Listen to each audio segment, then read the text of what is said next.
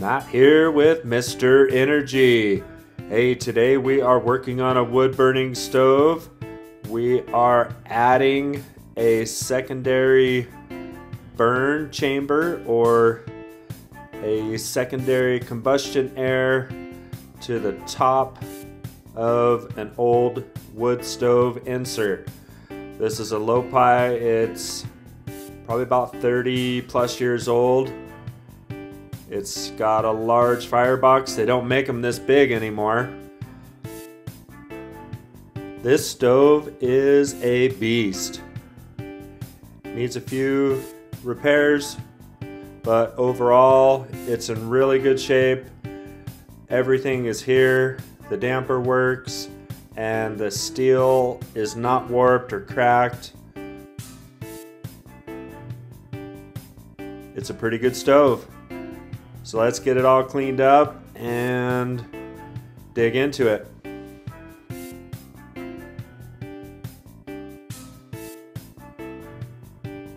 We're to lift this stove up and put it on its back. I think it'll be easier to access from the top down. So you're looking at that top view of the wood stove here. Those tubes is where our access to air is going to be. And we're going to line that up with our combustion air. So one feature it has is this bracket it's just a piece of angle iron and it supports a row of bricks on the top of the stove and it's called a baffle. We are going to add another row of bricks to double up the size of our baffle.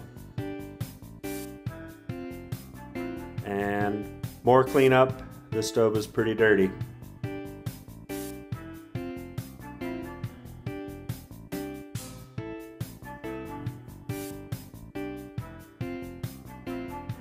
So just to show you, two rows of bricks.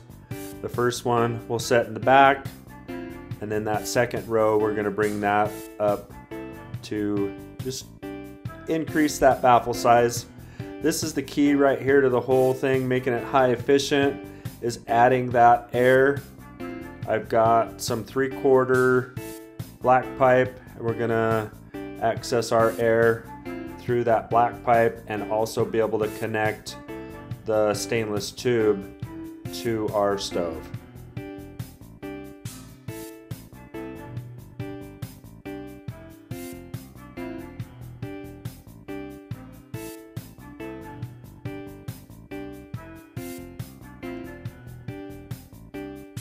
Drilling a couple holes and we are going to create a slot for the air to travel through our bracket.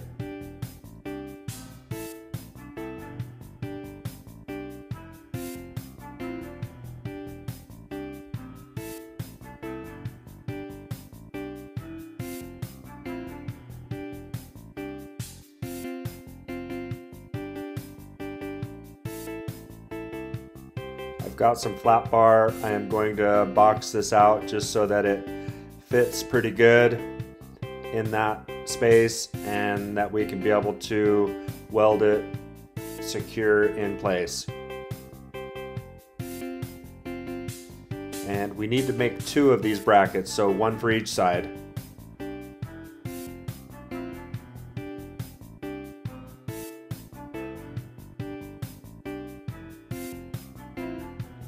Pretty hot.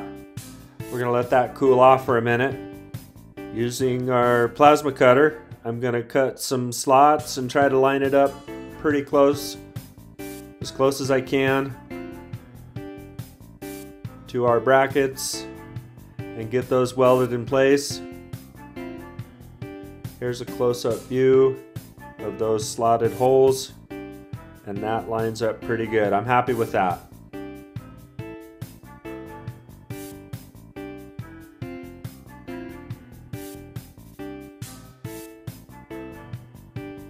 finishing up the welding on our tube brackets.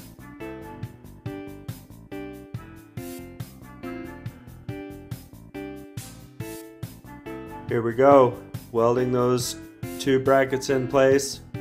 So the stainless steel tube that goes across, there's air coming in from both sides and that just adds that additional combustion air it is stainless steel, so you can replace it, but it will hold up to the heat really well.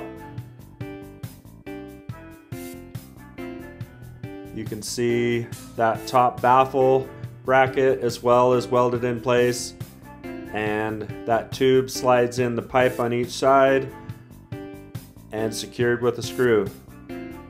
So we're ready to put fire brick in here and get this thing tested.